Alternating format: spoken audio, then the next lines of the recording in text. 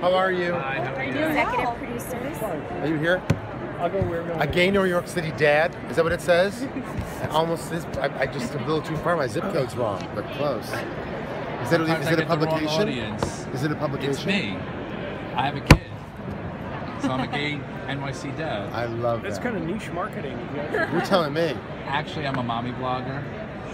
Don't tell anybody. I love it. I love it. Well, I'm a gay LA dad, so there you go. Excellent. Oh, you're putting this on tape already. I have to go to jail now for this. Me, I said. Okay, we're on here. Hi guys. Hello. How can we help you? Are you having a great con so far this weekend? Yeah. Are you loving it? Yeah. Well, we just this isn't the weekend. We just started for us. We came this afternoon for the first three arrived, whatever for the panel.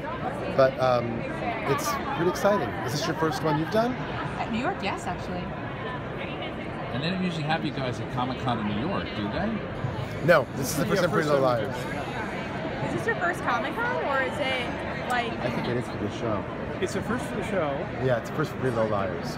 very Yeah. Usually I just sit home alone and wear costumes. But I but he puts himself on tape doing Yeah. it, so we watch. Those of us who are interested watch. You too, John. So um uh, oh sorry. Who's gonna go first? I guess I'll go first. Okay. I guess or you want to go first or How We can go how clockwise. How do you Yes. age the girls? They're five years older. I mean, is it more than a haircut and an outfit? No, it's their history. We, we had to discuss as a writers' room where they've been, and because the idea always was to reiterate or echo back to a moment in the pilot and the books where the girls are separated for a bit. Uh, Aria went to Yeah. Iceland with her family, so they have not been together. So the return, the reunion, actually has some. It's, it's charged with a lot of anticipation Right. and some anxiety because they've tried to forget some of the trauma of high, of high school. And when they see each other, what do you think of immediately? Yeah. Trauma.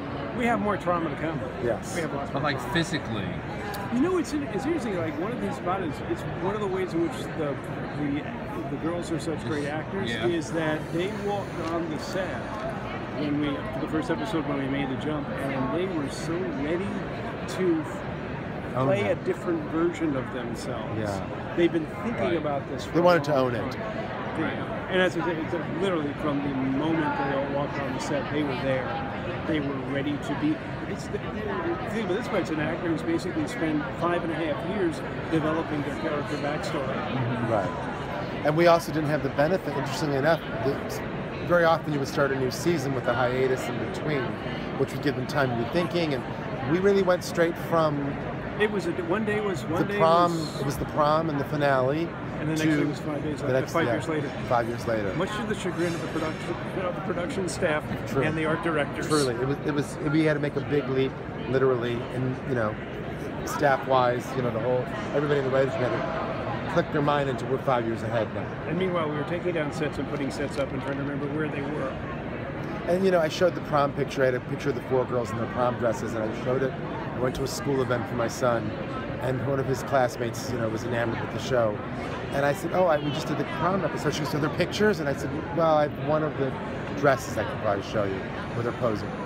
And she said, literally, quote, "No one looked like that at our prom." and I thought, you know, that's why we're jumping five years because they're going to own this now, and if we make it you know, 50 years, it'll be Valley of the Jowls. We got to do this, so it's just five years ahead. And 22, 23 years old is a pretty interesting age. But you still want to go back to 1967 for one episode, I know that. I really do. I want to do Valley of the Dolls for us one. I'm going to do one Valley of the Dolls episode before, I, before this show's over. We're going to have one.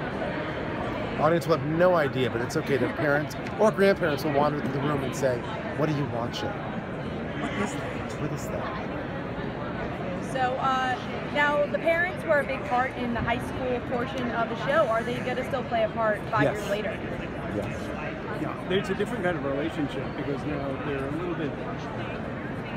They're there, but they've, their children have survived this, and uh, there's some, and the parents themselves have got some repairs to make in their relationships with the, with the girls and with, and with each other. And you'll see some new developments with the parents. It's really nice in season 6B, five years later. There's been some new developments in relationships amongst them, and I can't say any more than that. Just stay tuned. Be tuned. amazed what we can say, but yes. is Hannah's- there going to be a third A? A third A. that would be the triple A. That would She comes to fix Hannah's car Yeah. to charge It's her not car. threatening anymore. They just basically come and give you a battery. That would be the triple A. Um, there will be somebody who doesn't want to make these girls' lives very, uh, someone to uh, antagonize and intimidate, and force them to deal with the truths. Let's put it that way. There, ha- there has to be a threat, so we're going to find a new threat. We're not changing the DNA of the show. That's what you're asking. These girls, there's something in Rosewood that's still amiss, and these girls have to deal with it. But the thing is, what we like about this, one of the things we like about this basically is we actually now can invite a brand new audience to the show. They can start enjoying the show from this point on, and then if they want to go back and watch anything that's come before, they can. One of the things we've been stressing is you, if you haven't watched the show, you can start watching the show. Yeah, the mythology now, hopefully, we're starting fresh with the five-year jump, so it isn't so labyrinth that people have to go. I'm sorry, I don't know what. Yeah. You just know these girls were beleaguered and traumatized in high school. But of course, if you missed the first episode, you're just as screwed up as you would be if you missed five years. But that one you can watch. That's not binging. That's That's not- that's 42 minutes or what? 36 minutes now. Last question. 41, 20. I They keep getting shorter. How do you think Charlotte's role going to um, impact this season going forward? That's one of the areas where we actually have the stock answer of you have to watch. Stay tuned. Stay tuned. Thank you. I misquoted myself. Stay tuned. It's okay. What are, what are fans going to be most excited about this season? I think I think relationships. I think you know one of the things the network said to us. We were excited about this. They said, you know, not that we ever want to lose the mystery of this show and that element because it's an, it is the DNA of the show. But we were because they're 22, 23 and not under their parents' supervision, and they've had some other relationships and some other experiences since they left Rosewood. We can focus on more adult relationships the girls can have with each other and with guys. And I can't tell you which guys yet.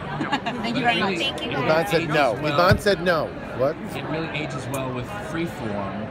Their Yes, yes, so it's yeah. perfect. That's sort of the idea. Thank you. Thank you.